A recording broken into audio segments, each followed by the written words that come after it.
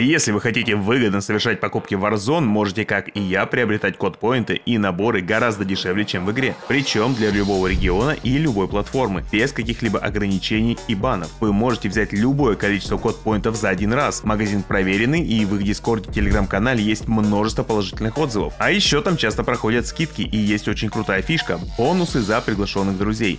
Рекомендую перейти по ссылке в описании, если хотите иметь доступ к дешевому и быстрому донату. Ну или скупить весь магазин. Ну что, ребят, всем привет, снова я, снова видос по колде Warzone, и у меня для вас отличная новость. Сегодня наконец-то вышел новый сезон.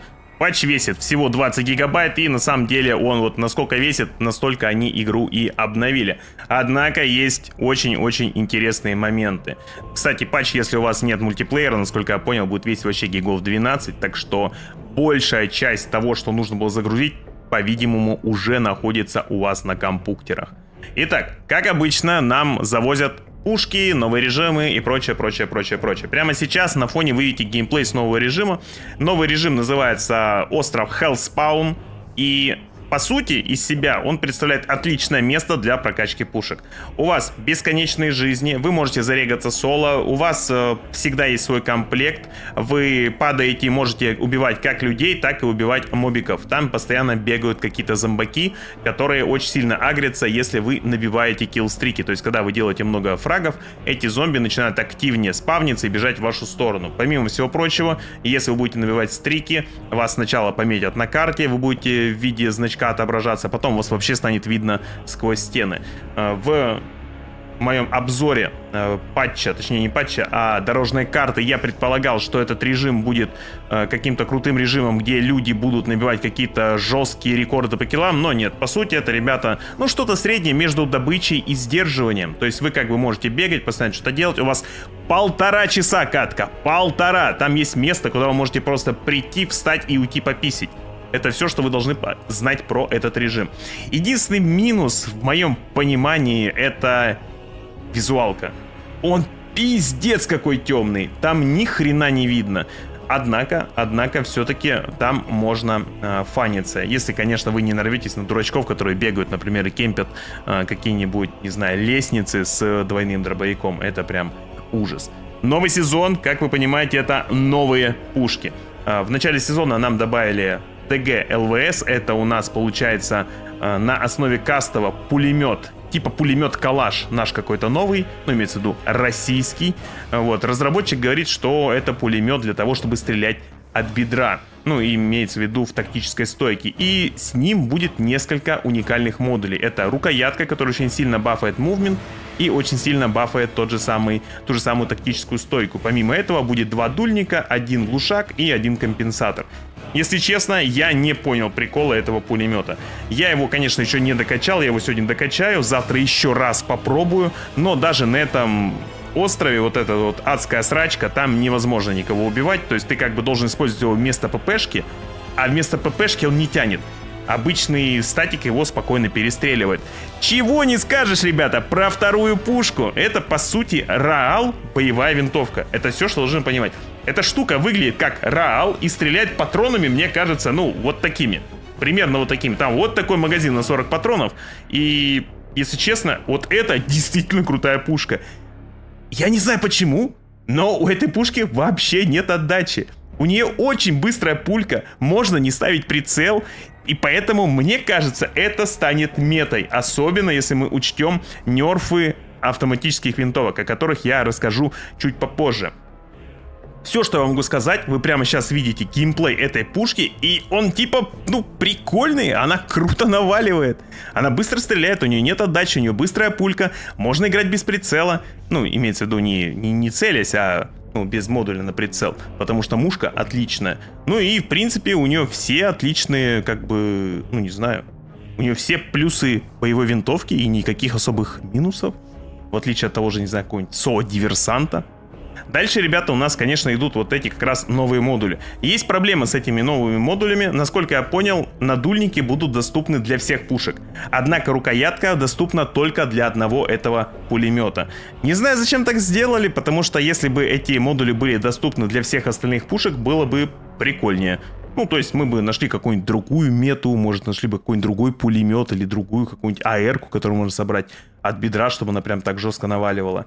Дальше у нас идут новые конверсии. В предыдущих видосах я говорил, что первые три конверсии, которые будут, это будет конверсия на MR, конверсия на MX Guardian и конверсия еще будет на вот это вот э, антидроновое ружо которое, очевидно, будет говном.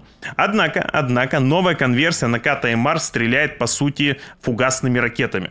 Э, как мне рассказывали зрители, я, к сожалению, еще не открыл, мне остался один квестик, завтра все буду тестить, поэтому приходите на стрим. Вот, э, как мне сказали зрители, эта штука ваншотит в любую часть тела. Насколько я понимаю, сложность будет только в том, чтобы попасть. Потому что, ну, очевидно, пулька будет лететь очень-очень медленно, потому что не пулька, это ракета.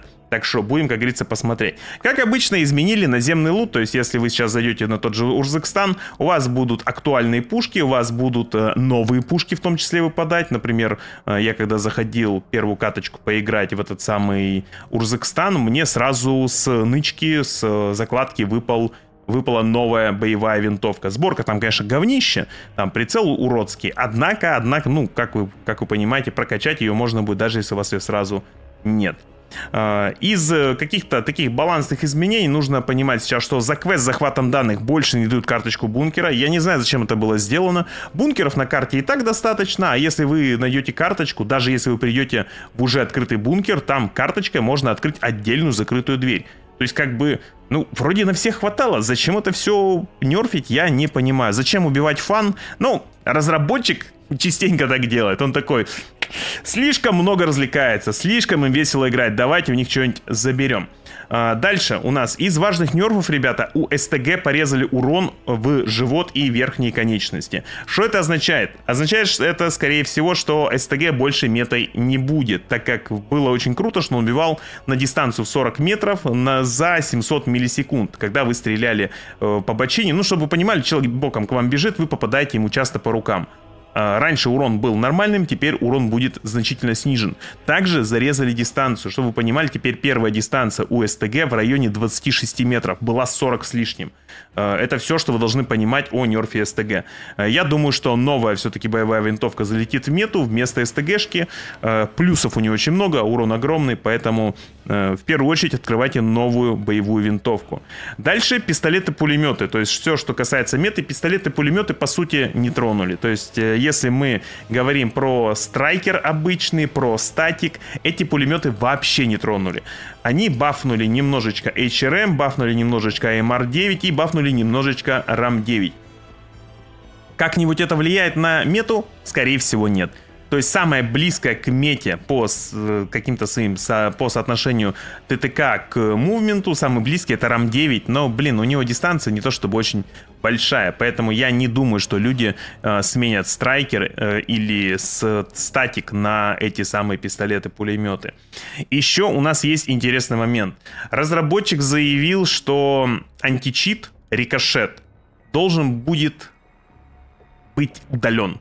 Должен будет Короче, скорее всего, в течение этого сезона античит Рикошет нас покинет. Вместо него э, придет античит Easy античит. А люди, конечно, которые играют в Apex, скажут, что, блин, в Apex так много читеров, хотя там Easy античит. На что я могу это парировать Fortnite? Не знаю, как получилось у Fortnite. Может быть, дело все в не настолько дырявом, как Source движке у Unreal, Unreal Engine 5. И, возможно, из-за этого. То есть, возможно, из-за этого. То есть, в Fortnite читеров значительно меньше, чем в любом другом бесплатном батл рояле. Там люди проводят турниры за бабки. То есть там в течение недели по 3-4 турнира проходят, и там везде бабки разыгрывают. И читеров вы там в каком-то большом количестве никогда не увидите. Какие-то залетные иногда бывают, но их тут же банят. Так что новый античит, он вряд ли сделает что-то хуже. Однако а, отсутствие рикошета оно сделает следующее. Оно избавит нас всех от шадоубанов. Многие люди, я знаю, что это не прям огромное большинство, не прям огромная какая-то цифра, но действительно многие люди, которые только заходят поиграть в игру, сталкиваются с тем, что они не могут этого сделать. Кто-то регает аккаунт, заходит и получает шадоубан еще до того, как зашел в игру. Имеется в виду до того, как даже зарегал первую катку. Кто-то получает ШБ в течение нескольких каток. И это вызывает вопросики, потому что а как люди вообще играть-то должны?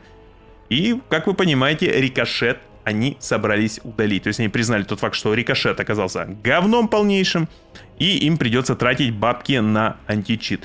Я очень рад, если честно, потому что, ну, вот эта тема с шадоубанами, она меня, конечно, не касается, но люди на постоянной основе заходят и гундосят, мол, типа, там, типа, я зашел поиграть, там, играю 88 лет, сделал 14 фрагов и в мэр. Мне дали шадоубан на 7 дней. Саня, что делать? А я что скажу? Ну, типа, терпеть! Больше ты ничего особо и не сделаешь с этим. В итоге натерпели и этот самый античит удалят. На этом, ребята, по большому счету все. Больше никаких важных изменений-то и не было. То есть все остальное практически это либо контент, который выйдет в течение месяца. И самое важное после того, что я вам рассказал, это релиз новой Call of Duty в конце а, октября. Такие дела, ребята. Подписывайтесь, ставьте лайки, приходите на стримы. Завтра будем тестить новую АРку, новую, новый пулемет, будем тестить новую конверсию. Все это будет на дневном стриме. Приходите. А, ну еще на телегу подписывайтесь.